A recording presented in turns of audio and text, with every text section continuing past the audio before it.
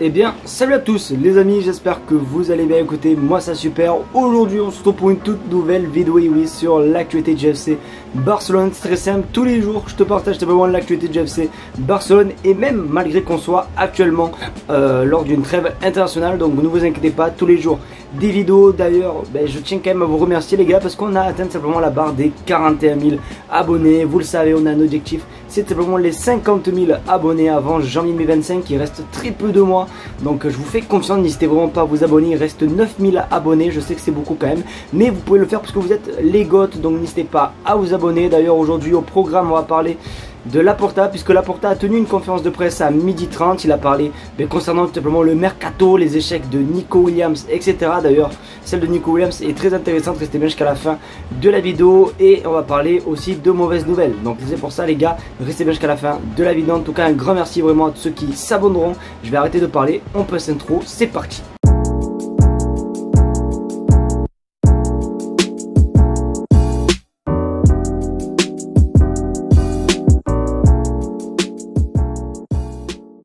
Vous savez quoi, on va commencer par la mauvaise nouvelle, vraiment la vidéo, la mauvaise nouvelle vraiment qui me plombe la vidéo, c'est-à-dire que dès que je suis rentré du travail, parce que là à l'heure actuelle je suis en pause, euh, dès que je suis rentré voilà, de, la poche, je l'ai sur l'ordinateur, direct je j'ouvre Twitter et qu'est-ce que je vois? Je vois cette info, franchement les gars je suis dépité, vous le savez, hier je vous annonçais simplement que c'était le premier jour de la fameuse trêve internationale. Et à, un moment je crois que je vous ai parlé de la malchance qu'on a, nous le Barça, c'est-à-dire qu'à chaque fois qu'il y a une trêve internationale, ben malheureusement un joueur du FC Barcelone se blesse et c'est ce qui s'est et c'est pas n'importe quel joueur parce qu'on regarde ton écran oui Fermin Lopez s'est blessé tout simplement aujourd'hui et il s'est blessé tout simplement avec la Rora et ça franchement c'est une mauvaise nouvelle. Alors oui ce n'est pas un titulaire indiscutable mais c'est un joueur qui peut énormément euh, servir et selon les dernières rumeurs, euh, je sais plus qui c'est euh, qui, en a parlé, mais du coup on regarde son écran entre 2 et 3 semaines pour tout simplement Fermin Lopez, donc du coup la trêve internationale dure 2 semaines, donc si rien de grave, on peut espérer qu'on retrouvera Fermin Lopez ben, une semaine après le retour simplement de la trêve internationale. Donc quand tu regardes comme ça, ça n'a pas l'air d'être une grosse blessure. Mais bon, ça me fait un petit peu quand même un petit peu chier, tu vois, je te mens pas. Donc du coup, euh, pas de Fermin Lopez pour euh, simplement le match de Gironne et je pense même le premier match de Ligue des Champions. Donc du coup ça commence déjà. En plus, en plus c'est même pas un match. Il s'est même pas blessé dans un match. Il s'est blessé à l'entraînement juste le lendemain. Pour vous dire les amis comment, comme quoi on a vraiment pas de chance.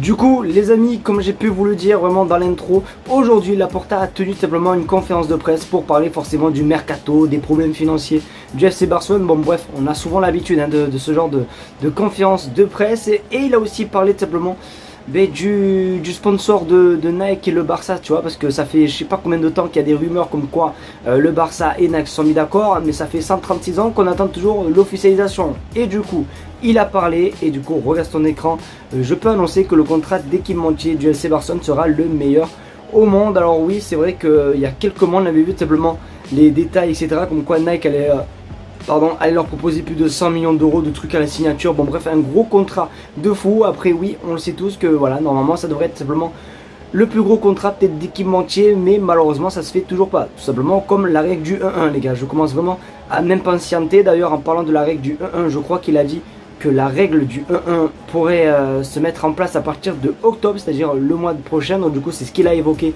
lors de cette conférence de presse. Donc du coup, n'hésitez pas à me dire ce que vous en pensez les gars concernant l'équipementier. Parce que je vous rappelle hein, que le Barça euh, avait beaucoup de rumeurs hein, concernant des Pumas, etc. Beaucoup d'équipementiers qui voulaient reprendre l'essai Barcelone. Mais du coup, selon la Porta, le Barça devrait à mon avis continuer avec Nike pour avoir le plus gros contrat équipementier du monde. Je vous rassure les amis, il n'a pas que dit, il n'a pas dit que ça comme dinguerie, il en a dit quand même plutôt pas mal, dont celle-ci où honnêtement, je ne le crois pas du tout. Pour moi, c'est du pipeau, ce qui rencontre, euh, ce qui rencontre, pardon, parce que tout simplement, vous le savez, cet été, ben, on a eu un truc qui était quand même assez triste, c'est simplement le départ de euh, Gundogan, etc. Et du coup, Laporta a décidé de se justifier, parce que vous le savez, nous, pour nous, ben, du euh, pour nous, ben, on sait que il est parti Gundogan pour pouvoir enregistrer par exemple des Daniel Moore, etc., etc. Sauf que Laporta dit tout le contraire, regarde ton écran. Euh, le départ de Gundogan n'était pas pour des raisons économiques, avec tout le respect que je lui dois. La décision a été prise sur le plan sportif les amis, donc vraiment un mensonge de fou parce que les gars, pour ceux voilà, qui ne savent pas, Gundogan était pour moi mais l'un des, des, meilleurs milieux la saison dernière et d'ailleurs il a fait une énorme saison avec le FC Barcelone donc il va pas me faire croire que, euh, Gundogan euh, n'avait pas le niveau quoi. Pour moi il avait largement le niveau, en plus avec Hansi Flick etc. Bon bref, pour moi c'est pas du tout des raisons euh, sportives etc. Après c'est vrai que bon il est parti aussi euh, gratuitement etc. Mais ça m'étonnerait quand même qu'il soit parti par rapport à son, simplement à son niveau parce que pour moi les gars la saison dernière les gars vraiment la plupart des buts passaient sur passaient avec Gundogan donc bon N'hésitez pas à me dire ce que vous en pensez. Peut-être comment je suis fou, peut-être que je vois que de. Parce que peut-être que je suis Y, etc. Mais est-ce que vous, vous pensez que la Porta abuse ou est-ce que vous me donnez raison, etc. Bref, dis-moi tout au moins dans les commentaires parce que je sais pas du tout votre avis.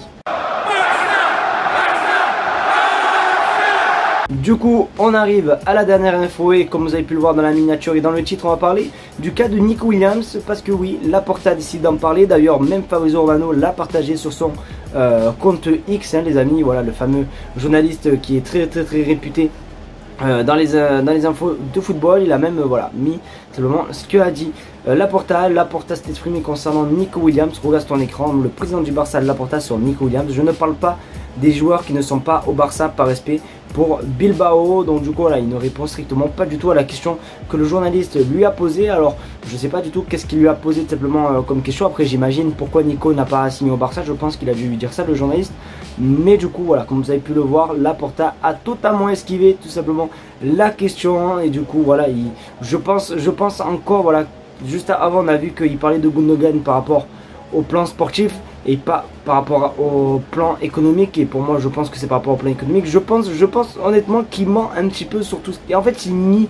Tu vois il veut pas parler je crois de de l'économie du Barça. Alors oui durant cette conférence de presse il a parlé comme quoi le Barça allait mieux euh, qu'il y a 3 ans etc bon ce qui est normal etc mais toujours il parle du plan plan plan sportif. J'ai l'impression qu'il esquive toujours le terme euh, économique. Donc du coup je sais pas. Alors je sais pas du tout qu'est-ce qui s'est passé. Mais pour moi je pense honnêtement que si je dois ramener ma petite fraise je pense que Nico Williams n'est pas arrivé au FC Barcelone par rapport au fair play financier, etc. Parce que c'est sûr que s'il serait venu au Barça, il aurait attendu je sais pas combien de semaines pour être inscrit. Donc je pense que c'est peut-être pour ça que Nico Williams n'a pas signé au FC Barcelone. Mais voilà, du coup, selon la Porta, il ne faut pas parler de Nico Williams.